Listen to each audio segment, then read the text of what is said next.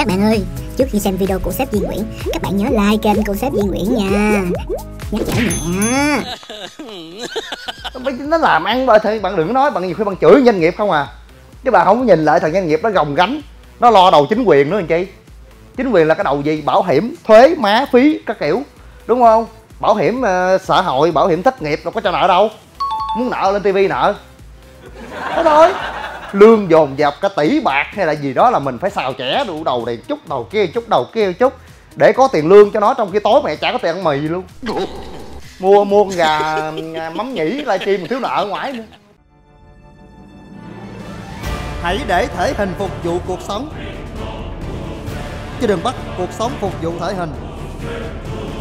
Đầu tư để có cơ bắp mà không sinh ra tiền là vô dụng, là thất bại doanh nhân streamer đồng hành cùng BBT CEO Duy Nguyễn. Khỏe đẹp, thành công, đẳng cấp.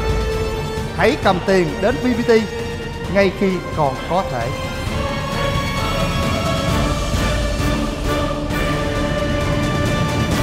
BBT nâng tầm con người Việt Nam.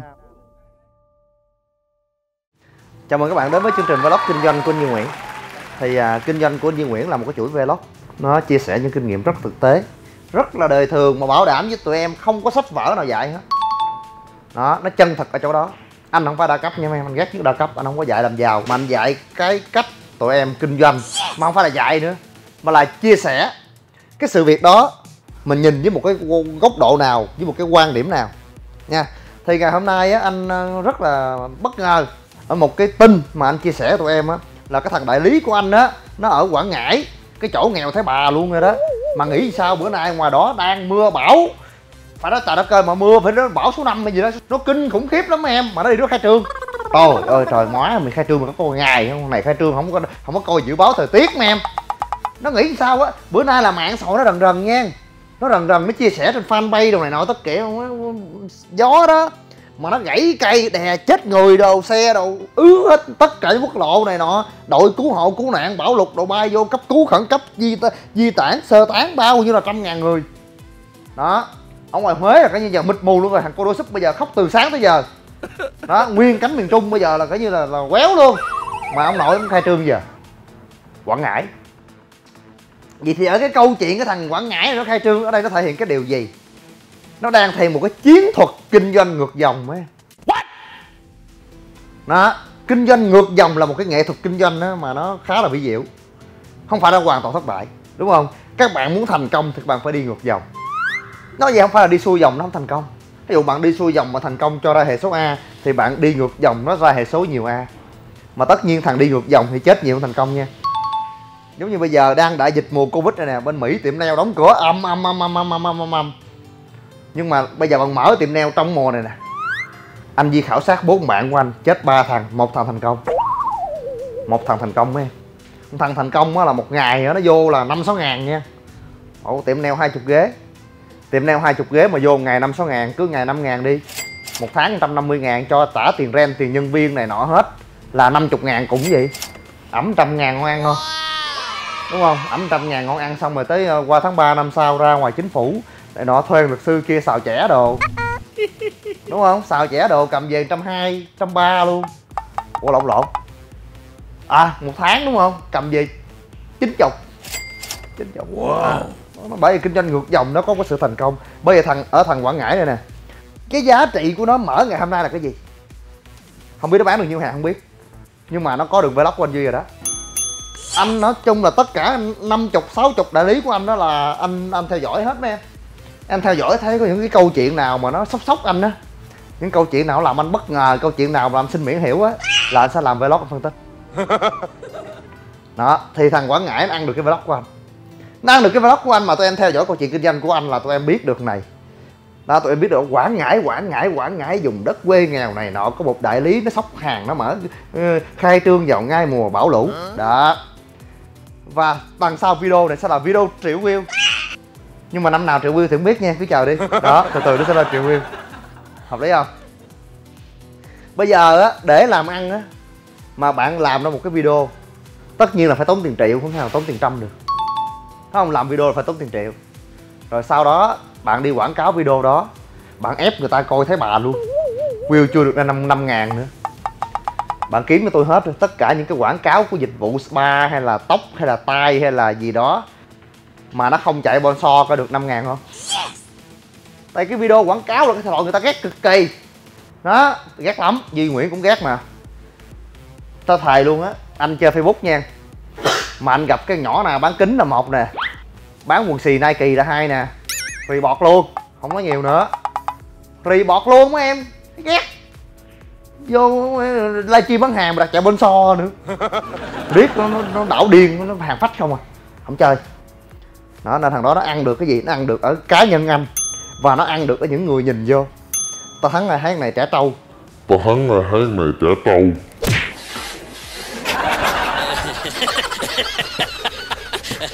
Đủ dám nghĩ dám làm. Đúng không? Thanh niên dám nghĩ dám làm vấn đề quan trọng. Bạn dám nghĩ là đầu tiên thôi. Bạn phải dám làm nữa dám làm cái thứ ba dám chịu thất bại. Thì bạn sẽ thành công thì người ta sẽ ủng hộ thằng này người ta cảm thấy à thằng này nó mở ra trong mùa này tội nghiệp quá thôi kệ ủng hộ nó hũ súp ủng hộ nó bịch này wow. ủng hộ nó 3D ủng hộ nó EVBX ủng hộ nó muscle infusion ủng hộ nó muscle mass gainer đồ các kiểu. Thì nó nó kinh doanh người ta nó dựa trên cái cảm tình. Đúng không? Mình người ta có cảm tình với mình người ta thích mình cũng như các bạn thích anh Duy Nguyễn thì các bạn mới coi phim mới coi like đúng không? Mới coi mới mới, mới coi vlog này và mới mua súp BBT đó thì cái đây là thì bạn thích cái thằng đại lý này ở cái cách nó sóc hàng á nó mở nó mở ra kinh doanh trong mùa giông bão. Thì bạn thích cái con người này. Bạn muốn làm giàu cho quê hương đóng góp cho đất nước cho địa bàn quảng ngãi lê khiết gì thành phố quảng ngãi đó. Đó thì các bạn chạy tới bạn mua. Ê nị hào ma. Đó này nọ kia thấy uh, tốt quá. Rồi mua này tặng này tặng này hướng dẫn event rồi các kiểu. Rồi ở thằng này nó có, có, có một câu chuyện mùa covid nữa mà nó ảnh hưởng tới vấn đề đạo đức kinh doanh. Đó ảnh hưởng tới đạo đức kinh doanh. Tức là bây giờ á bạn đi kinh doanh bằng mướn nhà. Trong cái thời điểm covid này nè, mà chủ nhà nó không bớt tiền á, thấy nó nó ác ác sao bạn? Đúng không? Anh anh anh không có nói chủ nhà cũng quảng ngãi nha. Bậy, anh không có nói à đừng có suy diễn. Anh ghét nhất tụi em suy diễn kiểu đó. Cái gì tụi em suy diễn thì để trong lòng. Đừng comment ra, ok? Anh chỉ nói là vấn đề bây giờ đi mướn nhà. Trong cái mùa covid này, mà thằng chủ nhà nó không bớt, là thằng chủ nhà nó năm binh quá, nó ác quá. Nó ác quá anh nói vậy không nghĩa là anh binh cái vụ mà cái cái cái cái cái, cái bà gì bà bà đuổi con nhỏ gì mà thuê nhà không bớt nha cái đó hai trường hợp hoàn toàn khác nhau. Anh nói lại là hai trường hợp đó hoàn toàn khác nhau mấy em. Bây giờ á tụi em đi mướn nhà mùa covid này em làm ăn khó khăn này nọ doanh nghiệp nó chết la liệt hết mình lại mình trình bày với chủ nhà mình cầu xin người ta. Mình nói cái chuyện thông cảm á mình nói chuyện để mình cầu xin người ta mà người ta phải bớt chứ bèo nhất năm trăm chứ. Lần này không có đâu em. Cái sầu này nó chán lắm những cái gì mà bạn từ thiện á bạn thấy trên báo thôi. Đúng không? Bạn thấy trên báo thôi bạn thấy thùng mì cứu trợ này nọ ghê gớm quá. Một thằng nó làm từ thiện mà nó xe 80 cái bay.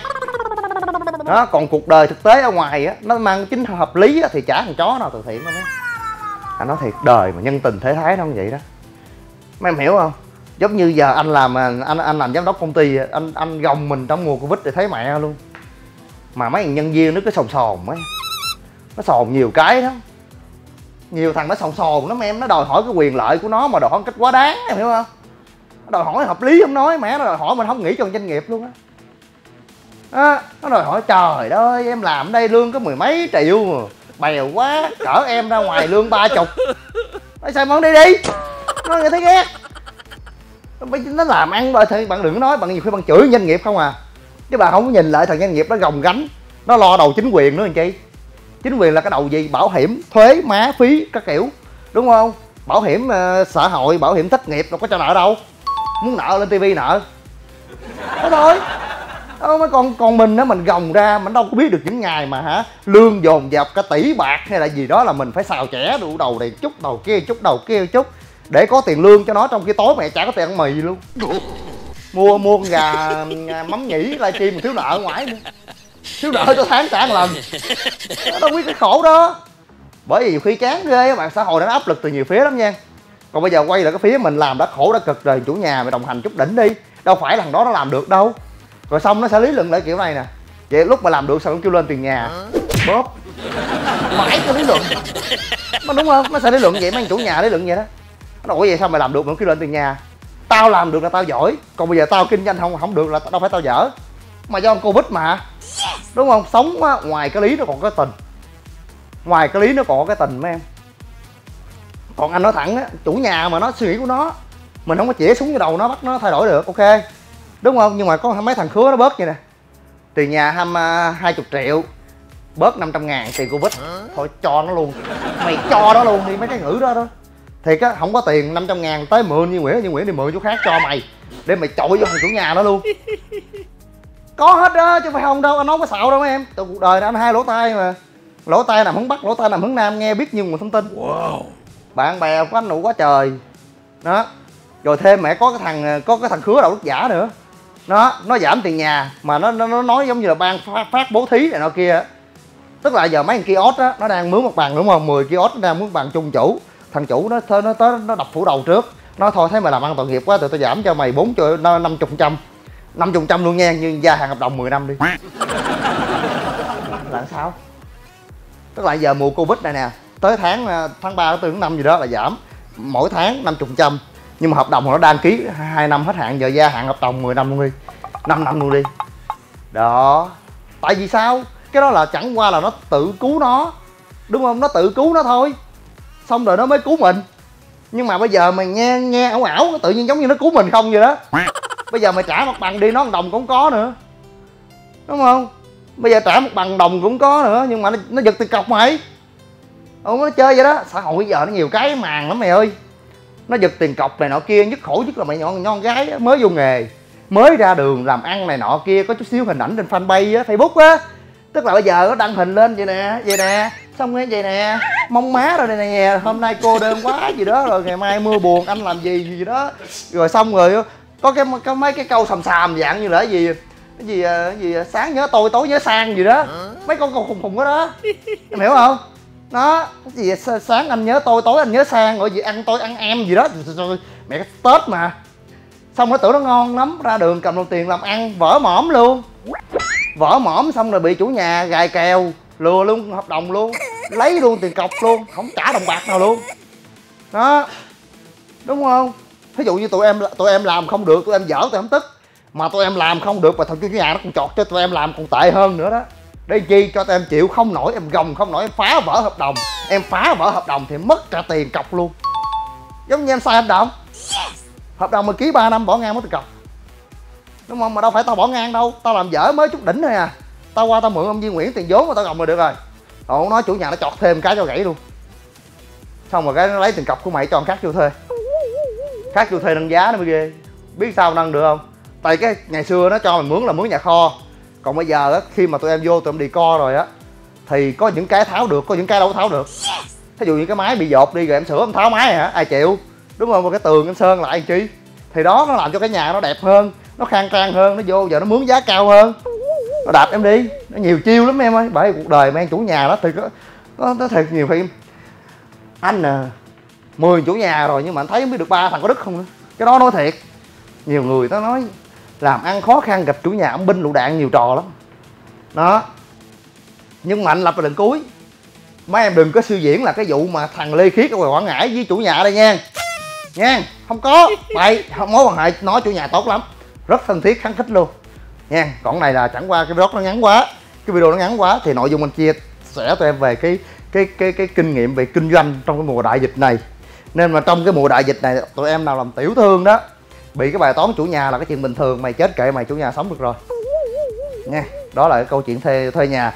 Còn tất nhiên hôm nay á là trong cái bài à, toán bằng thằng thằng thằng thằng quảng ngãi á nó đi ngược dòng nước nó mở khai, khai trương ngay dịp này. Nhưng mà ở thằng này có một cái rất là hay nó tâm sự với anh đó dịch nó hỏi dịch làm được không? Nó dạ dịch em à, đủ tiền trả mặt bằng đủ tiền nhân viên thôi tiền lời em chưa có nhiều. Nên giờ em chạy sài gòn làm chớp thêm nữa. Wow. lấy ngắn nuôi dài đồ abc các kiểu. Nhưng mà sao em cay quá? Em để em dài na để năm hai năm nữa em gom tiền mua đất mở phòng gym giống như Nguyễn luôn. Giống BBT SG luôn. Thằng này nó có tham vọng mày. Tự nhiên mình mới hỏi nó, nó than nha. Là này nọ vô Sài Gòn làm chốt kiếm thêm. Ở cái, cái cái shop nó ngoài giao bồ đó coi. Nhỏ chụp hình mặt đồng này nọ ngắn ngắn múc múc là bồ đó đó. Đó. Nó giao bộ nó coi bởi tụi nó vậy đó mày ơi bây giờ mở mượn ra là tiểu tư sản không à. Nó mình làm bỏ bồ trong trong sài gòn chắc làm chức gì cũng khá. Nó nó ăn lương hai đầu xong vài năm nữa như ngoài đó có mối mang gì ngoài á. Rồi à, nó mua đất rồi mở phòng game nó theo triết lý của anh Như Nguyễn đó là BBG SG S Supplement G Gym. Supplement and Gym là triết lý của tập đoàn chúng tôi. Thân ái kính chào. BBT là gì? Nghệ thuật chất chữ đỉnh cao của Zimmer, Duy Nguyễn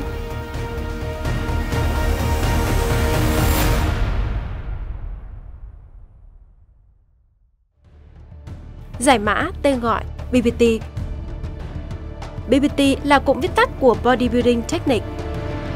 Bodybuilding là thể hình. Technique là kỹ thuật. Mỗi từ ngữ đều mang một ý nghĩa thiêng liêng đối với CEO Duy Nguyễn. Building là xây dựng cơ bắp theo nghĩa gym nhưng có thể hiểu là tòa nhà trong khái niệm kiến trúc. Duy Nguyễn kết hợp hai trong một để tạo nên bốn trụ BBT Building hay Duy Nguyễn Tower lẫy lừng như ngày hôm nay. Ngay từ khi nuôi mộng khởi nghiệp, Duy Nguyễn đã đặt mục tiêu xây dựng những trụ nhà chuyên biệt về gym và fitness. Đây là ý tưởng đầu tiên tại Việt Nam, độc quyền có từ những năm tháng Duy Nguyễn còn trẻ đã thực hiện được.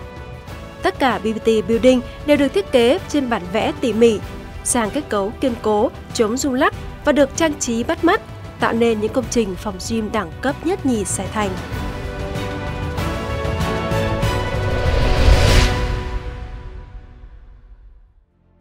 Technique không đơn giản là kỹ thuật tập luyện thể hình để có body đẹp, mà còn là kỹ thuật dùng thể hình. Vậy kỹ thuật dùng thể hình là gì?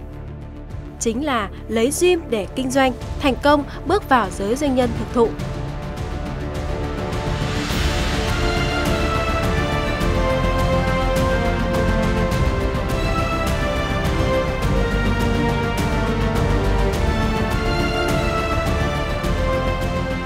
Duy Nguyễn thực sự đã đạt được kỹ thuật thể hình đỉnh cao. BBT chính là minh chứng. Đặc biệt chữ technique có nghĩa là kỹ thuật, còn là cách Duy Nguyễn gợi nhớ về nghề IT và mái trường Đại học Quốc gia Sài Gòn, khoa kỹ thuật anh từng học. BBT SG, cách chơi chữ đầy tinh tế của Zimmer tri thức Duy Nguyễn. BBT còn có một tên mở rộng khác là BBT SG được hiểu là BBT Sài Gòn, thủ phủ chính tọa lạc tại thành phố giàu nhất và phát triển nhất Việt Nam. Một ý nghĩa thứ hai rất tinh tế của BBT SG đó là bao quát toàn bộ lĩnh vực hoạt động của công ty. SG chính là Supplement and Gym, hay lĩnh vực xương sống trong ngành gym đó là kinh doanh thực phẩm bổ sung, máy tập thể hình và vận hành chuỗi gym center.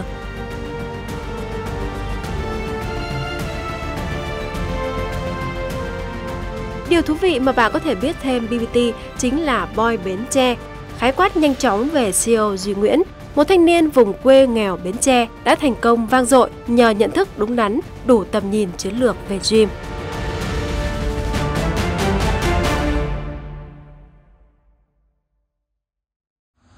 hay thì mua súp đi ba. Giàu nghèo mẹ gì lai xe là đương nhiên rồi. Có chùa hoài. Ba triệu. Phân phối thực phẩm bổ sung thể hình và mạng lưới trung tâm gym THOL lớn nhất Việt Nam. BBT, anh cả tiên phong ngành gym và supplement. Duy Nguyễn, BBT Founder.